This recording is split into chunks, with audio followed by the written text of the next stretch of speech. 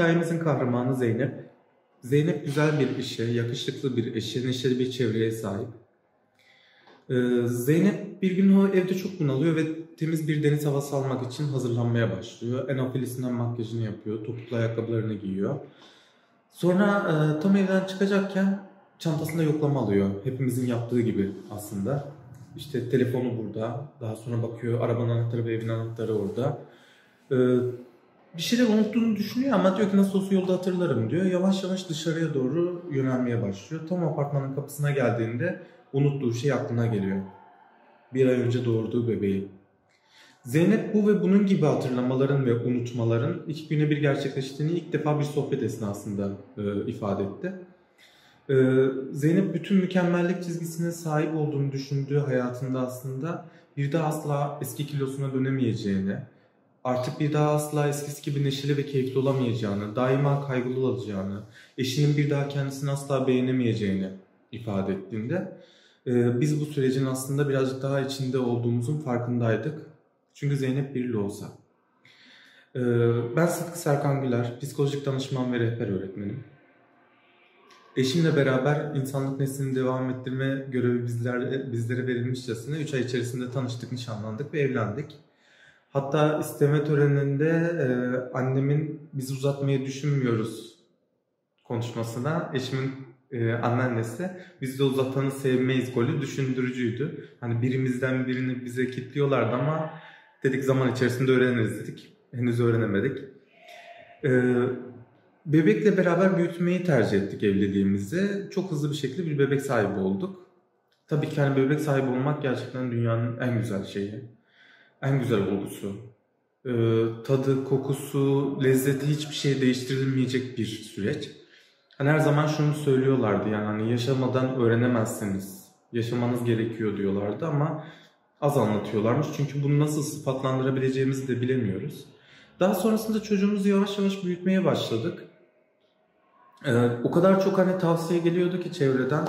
Ee, özellikle ben hani böyle normalde çocukla alakalı değil ama bireyselde işte sivilce çıktığında yüzümde işte sabahki ilk idrarını sür iyi gelir diyen bir öneriler zincirinde bebeğim ve eşim konusunda tabii ki daha e, temkinli davranıyordum reflü yastıkları, loğusa bantları, daha sonrası işte balon beşikler, çocuğumuzu tıpış tıpış tıpış yapacağız, emzireceğiz, ondan sonra gazını çıkaracağız, oraya oturacağız, işte mutlu, huzurlu bir bebek olacak falan diye bütün inancımız bu yöndeydi. Hani evet bebeğimizden yana herhangi bir sıkıntımızın olduğunu düşünmüyorum. Hatırladığım kadarıyla hani böyle bizi çok zorlayan bir bebek de olmadı ilk zamanlarda. Şu an 3 yaşında. Ee, ama eşimde e, anlam veremediğim, daha doğrusu anlamlandırmaya çalıştığım belirli üzüntüler oluyordu. Çünkü e, doğum esnası birazcık eşim için kötü geçti diye düşünüyordum ama onu hani çok hızlı atlatır diye e, planlamıştım. E, eşim 24 saat kadar normal doğum sancısı çekti. İşte e, suni sancı verildi. Daha sonra sancının kendisinden gelmesi beklendi. Bir sürü süreç yaşadı ve en sonunda yeteri kadar açıklık olmayınca da sezaryen alındı. Eşim tek başına bir ameliyata gireceği için ve hayatında ilk defa ameliyat olacağı için çok panik yaptığını ve kaygılandığını yıllar sonrasında bize söylüyor. Ee, ve bizim eşimin beklentisi üzerine çocuğumuzun kel ve hafiften böyle beyaz tenli, sarışın, pembe bir çocuk olacağını düşünmüş. Ama e, doğum olduğundan itibaren kendisine doktorun verdiği bebeğin çok aşırı derece kıllı ve esmer bir şey olduğunu görür görmez de e, bu durumu çok yadırgamış. Yani anlam veremediği bir yadırgama olmuş. Tabii ki bunların hepsini süreç, süreç içerisinde eşim hem itiraf etti hem de ben bunların e, beraber ortağı olmaya çalıştım eşimle beraber. Ya bebek evet dünyanın en güzel şeyi. Bizim bebeğimiz dünyanın en güzel bebeği. Herkes öyle geliyordu mutlaka. Ama eşimin duyguları da e, tarifsiz geliyordu. Çünkü hani ilk defa karşılaştığımız bir süreç içerisinde onu öğrenmeye, anlamlandırmaya çalışıyordum. Eşimin e, ilk doğum yaptığı günlerde ben işte bu e, iş yerine götürülmesi gereken evraklar vardı. Onları götürüyordum. Ondan sonrasında işte misafirlere dağıtılacak olan baklavaları ayarlamaya çalışıyordum. Derken eşim beni her gördüğünde Serkan ben kendimi hiç iyi hissetmiyorum diyordu. Ben de diyordum ki tamam kuzum hiç merak etme çocuğumuzu işte emziririz veya besleriz. Daha sonrasında bir sahile çıkarız. Temiz bir deniz havası alırız. Çok iyi gelir bize diyordum. Ee, birinci, ikinci çıktığında eşim her zaman söylediği şey şuydu. Hani ben kendimi çok kötü hissediyorum. Ben yetersiz bir anneyim ve bu yetersizlik de beni mutlu etmiyor. deyip ağlıyordu saatlerce. Hatta bir gün soda içerken şunu söylemişti bana. Hani eşim de e, bunu e, her defasında gülerek hatırladığımız bir an aslında. E, Serkan dedi çok çirkin değil mi dedi ama bu yarım saatlik bir ağlamanın sonrasında geldi. Dolayısıyla hani içi çok garipti ve bu durumda hani yadırganacağını düşünüyordum muhtemelen. Ben de evet dedim çok çirkin şu an ama güzelleşecek sen hiç merak etme dedim. O ilk defa o zaman itiraf etmişti aslında hani duygularını, düşüncelerini. Çirkin olduğu için asla zaten hani e, çirkinliğiyle alakalı bir sıkıntısı yoktu. Her şey daha kötü geliyordu ona. Her şey istediği gibi ilerlemediği için tarifsiz ve anlamsız geliyordu belki de. Sonrasında ilk 55 gün zaten beraberdik. Yaz tatiline gelmişti çocuğumuzun doğumu. Ee, ben mümkün olduğu kadar desteklemeye çalıştım, yanında olmaya çalıştım, eşimi anlamaya çalıştım. Çünkü hani o psikolojik bilgilerde şu vardı. Losa'nın ve Losa depresyonunun birbirinden çok farklı olduğunu duyuyordum ve okumuştum. Ee, burada da aslında birazcık bilimsel gerçekleri de bilmek gerekiyor. Çünkü Losa ve Losa depresyonu birbirinden tamamen farklı. İki tane olgu. Ee, Losa ilk doğum yapan ve ilk 40 gününü geçiren bütün annelere Losa deniliyor. Ee, ama bu 40 günlük süreçte o hormon dengelenmesi olmadığı andan itibaren de e, belirli gerilimler, belirli stres kaynakları ya da belirli, belirli kaygı kaynaklarını daha fazla büyütebiliyor bünye. Bu süreçte de yoğun depresyona ve çaresizlik hissine kapılabiliyor anneler. Bu sürece de Losa depresyonu deniliyor. O yüzden de bu iki kavramı bilmek aslında birazcık daha işimizi kolaylaştırıyor. Ben bildiğim için aslında o süreçte eşimin Losa depresyonuna girdiğini bildim. Ama çok hızlı bir süreçte onun yanında oldum, destek oldum ve onun e, bu süreci atlatmasını, e, atlatmasına yardımcı oldum diyelim. Arkadaşlarımızdan çok destek aldık. E, hani Loğusa depresyonuna giren ya da daha önceden doğum yapan birçok arkadaşımızdan yardım aldık. Ama ilk günler tabii ki hani süreç çok iyi ilerlemiyordu. Çünkü böyle eşime antidepresan etkisini yapacağını düşündüğüm işte o deniz havası alma süreçlerinden birinde eşim tam böyle şey diyor işte yol boyunca konuşuyoruz. Acaba sütüm yeterli gelecek mi bana? Bebeğimize e, yeterli gelir mi? Doğru besleniyor muyum? Sağlıklı besleniyor muyum diye düşünürken sahile gidiyoruz. Hafiften yürüyoruz. O sırada bir tane arkadaşımızla karşılaşıyoruz. Aa diyorum tamam o da bir anne ve kesin anlatacağı deneyimler eşime iyi gelecek diyorum.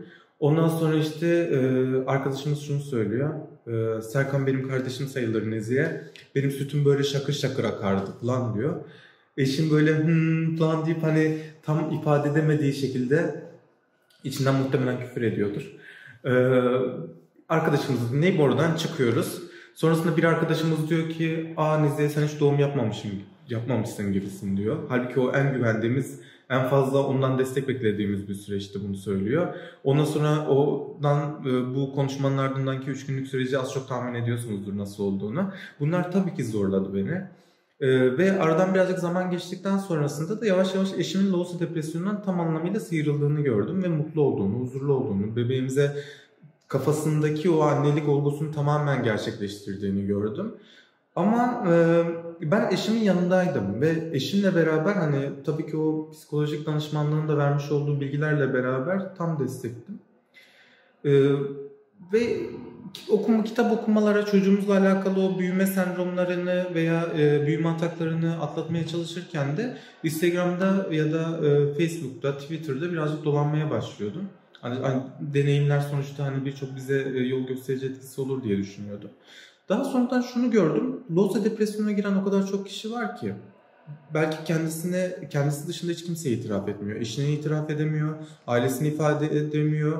Çünkü onun normallik çizgisinden çıkmasını sağlayabilecek bir oluşum olduğu için de kendine mutsuz hissediyor. Ve hiçbir desteği yokmuş gibi geliyordu bana o dönemde.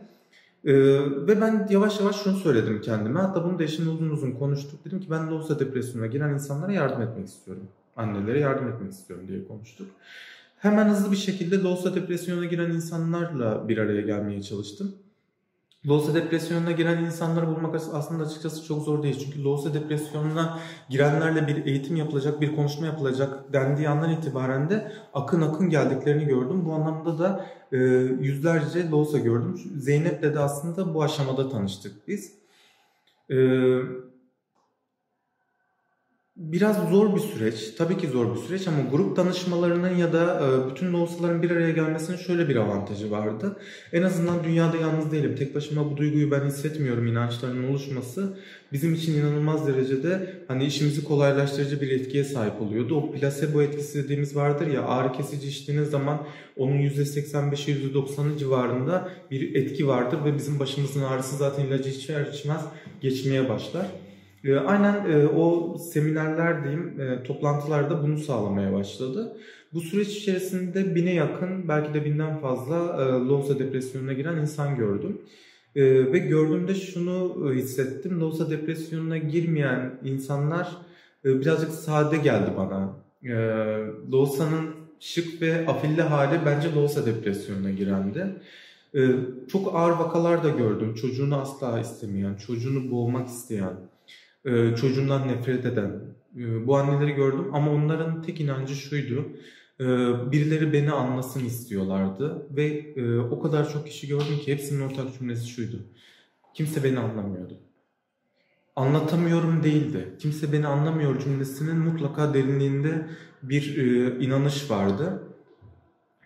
Hiçbir zaman eskiye dönemeyeceklerine dair, eski kilolarına kavuşamayacaklarına dair, Hani biz normalde sağlıklı bir ruh haliyle düşündüğümüz andan itibaren şunu söyleyebiliyoruz. Diyoruz ki e, eski kilon döneceksin. Asla böyle bir şey söz konusu değil. Çünkü o senin şişliklerin inecek, ödemin azalacak, hormonların dengelenecek.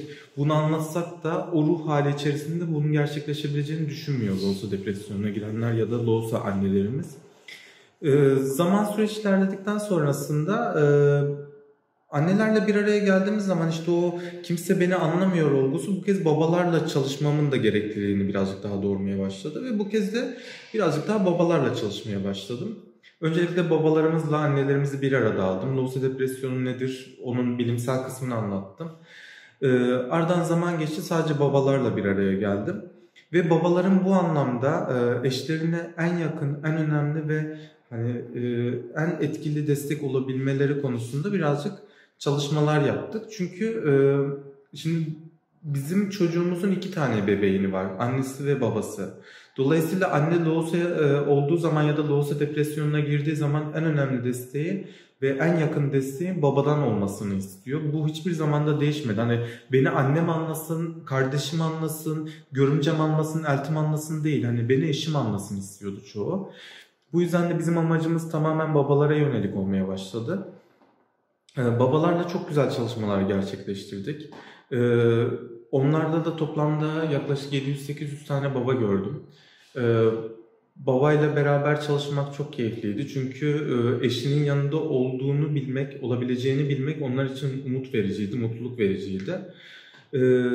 ve ben e, bu yolda ilerlemeye devam edeceğim. Aslında hani bu bir e, henüz başlangıç gibi geliyor bana ben çok e, inanılmaz bilimsel temelleri olan Loğusa depresyonunu ortadan kaldıracağıma inandığım bir süreci yaşamıyorum. Sadece Loğusa depresyonuna giren insanların da kendini ifade edebilmelerini, anlaşılabilmelerini sağlamaya çalışıyorum. Bunun için aslında ortam oluşturmaya çalışıyorum. Ben bir baba sözü veriyorum. Gücüm yettiğince, nefesim yettiğince ve e, size iyi geleceğimi bildiğim sürece daima yanınızdayım. Dinlediğiniz için çok teşekkür ederim.